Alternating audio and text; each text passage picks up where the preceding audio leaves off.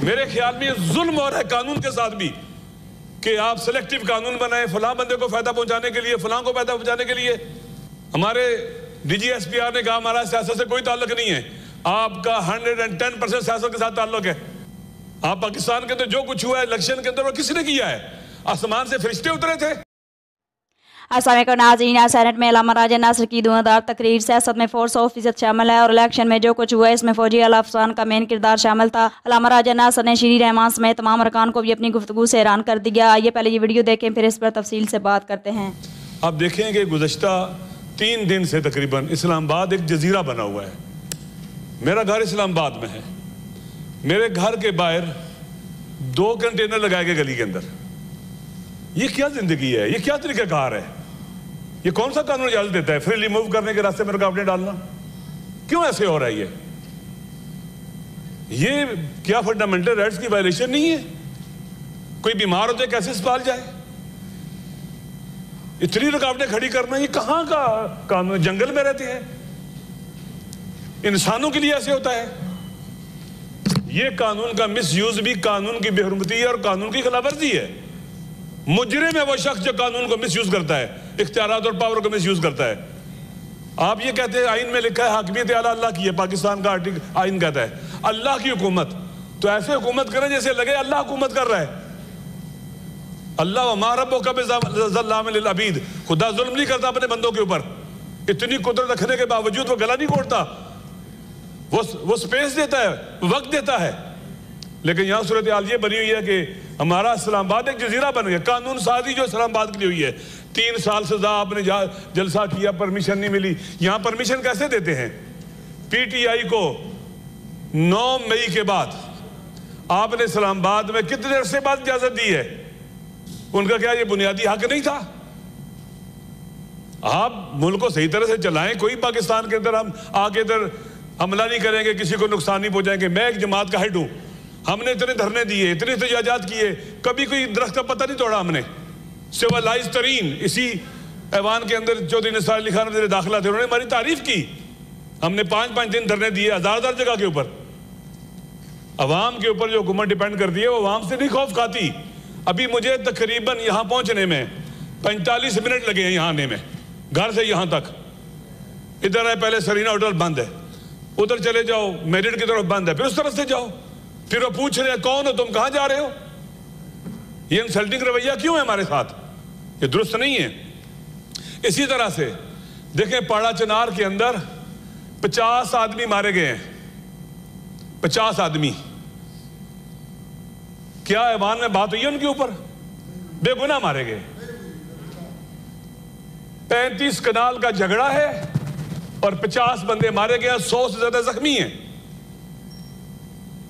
कोई बात नहीं हो रही बेगुनाह मारे जा रहे लोग परवाही नहीं है। एक इंसान का कत्ल, तमाम इंसानों का कत्ल है, कुरान कहता है।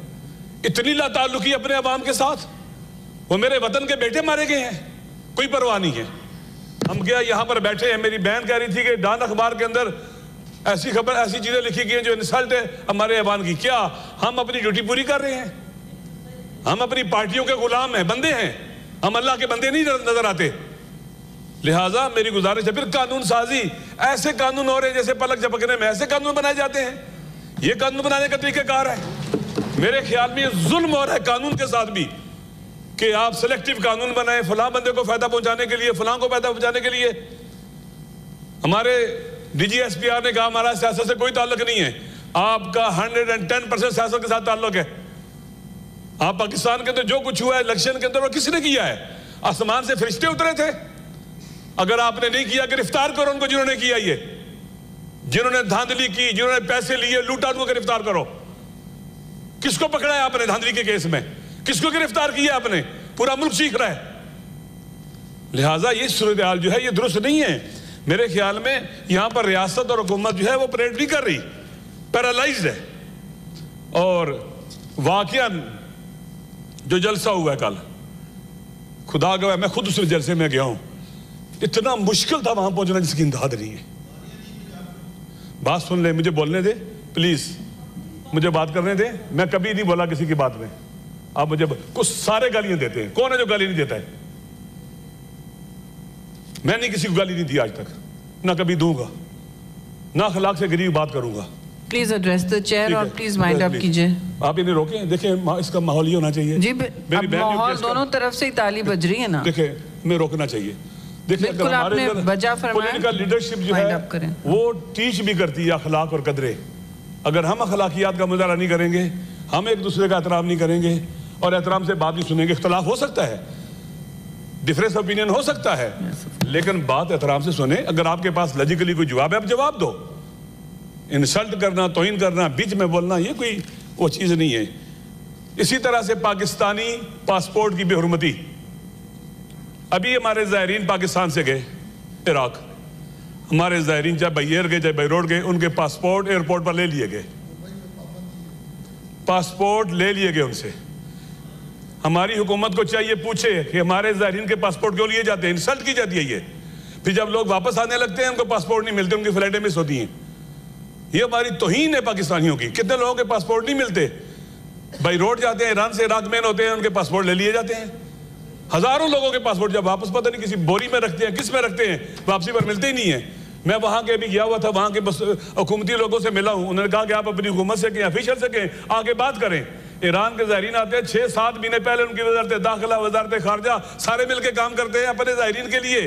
सेनेटर साहब आपने बहुत अहम बात उठाई है। पाकिस्तानी जो मुल्क से बाहर हैं उनके हुकूक हमारा पहला फ़र्ज़ होता है। जो ओवरसीज़ कमेटी है ये इशू वहाँ खोला जाए मैं आई एम रिफरिंग इट आपने अहम बात की है तो आपको भी वहाँ इनवाइट करें मेरी, मेरी बात यह है। कि साल में लाखों ज़ायरीन जाते हैं।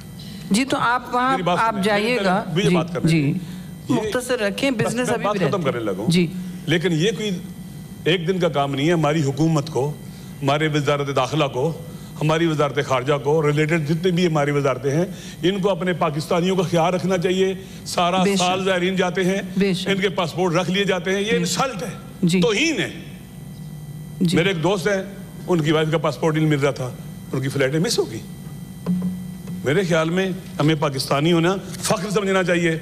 और ये भी हमें यूज़ तो नहीं हो जाना चाहिए कि हमारा कोई पासपोर्ट ले ले हम चुप हो जाए और हम ये जी थैंक यू आपका पॉइंट हो गया। सेनेटर साहब बहुत एहतराम से आपसे गुजारिश करूँगी। कि कर दिया मैंने। दिस इज़ एन इम्पोर्टेंट नहीं अब प्लीज़ प्लीज़ अब आप आधा मिनट ले। जल्दी प्लीज़ मैडम बहुत लोग इंतज़ार ना करें इतनी। मैं जब से सेनेट में मैं तीसरी बार बोल रहा हूँ। तीसरी बार बोल रहा हूँ। मैं फिर पिछली दफ़ा मैं ही कर रही थी जब आपने बोला तो यानी दो मेरे सर पे। आप। ठीक तो ऐसा है कि जी। देखें हमारे सेनेट उधर जो दोस्त बैठे इधर बैठे आए हम अपने आवाम के लिए उठें। अपने आवाम के हकूक की जंग लड़ें। कोई ऐसा कानून ना बनाए जो हमारे फंडामेंटल राइट्स के खिलाफ हो आइन की रूह के खिलाफ हो। कोई ऐसा काम हम ना करें। और ये हो रहे मैडम। मैं देख रहा हूँ अपनी आँखों से। वो कवानीन जो पाकिस्तान के अवाम के हक में हो बनाए जाएँ। और लोगों को देखकर कानून बनाना, पहले आपने इलेक्शन एक्ट बनाया, फिर उसको तरमीम की। क्यों ऐसा हम करते हैं? आप जब होमवर्क नहीं करते, मेरी गुजारिश है कंप्लीट होमवर्क होना चाहिए। कंप्लीटली सबको हमें ऑन बोर्ड लेना चाहिए, हमें बताना चाहिए क्या कानून बनाया जा रहा है। हम उसको पढ़ें, हमारे पास कोई राय, हम वो दें। अचानक कानून बनाना, ये करना, वो करना, ये दुरुस्त नहीं है। आखिरी बात मैडम, आपने कहा, मैं कहने लगा हूँ, और आधे मिनट में करूँगा। आधे मिनट में। मेरे सारी सब दोस्तों से गुजारिश है, मेरी बात सुने। आइन कहता है, हाकमियत आला अल्लाह की है।